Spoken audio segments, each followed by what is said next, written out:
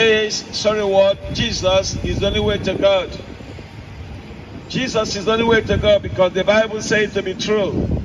Why? Because only He can bridge the gap between God and man. There's no other way. If you are planning to spend eternity in heaven and not hell, then Jesus is the only way to God.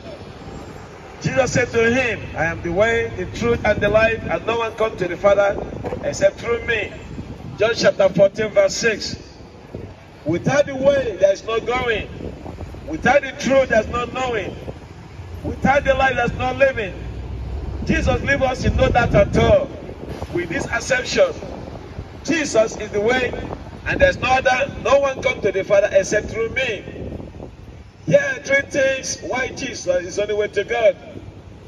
Number one, Jesus is the way. He was not a way, but that is the way to come to the Father God.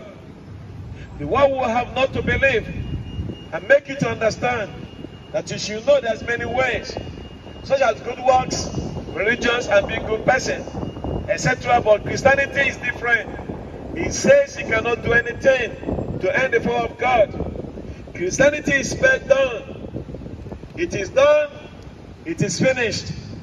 Number two, Jesus is the truth. And not the truth, but the truth. Man can lie, but not God. In Romans chapter 3, verse 4, Apostle Paul said, It doesn't matter what you believe, it doesn't matter what you say. Let God be the truth, and let everyone be the liar. Without Jesus, you will not make it to the kingdom of God. So the message loud and clear today, sorry what? Jesus is the only way.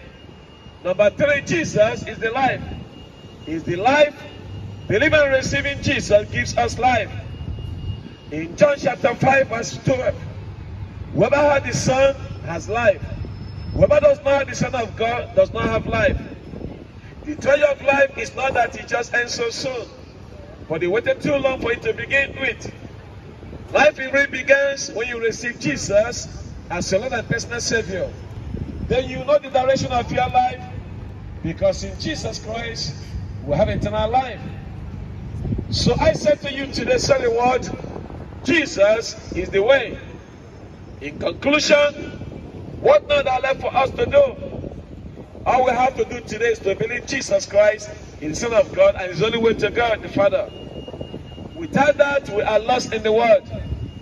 What is the answer? Jesus is the only way to God.